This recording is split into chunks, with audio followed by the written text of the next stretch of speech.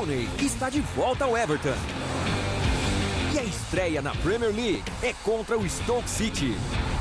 Neste sábado, 11 da manhã, ao vivo e exclusivo na ESPN Extra e Watch ESPN.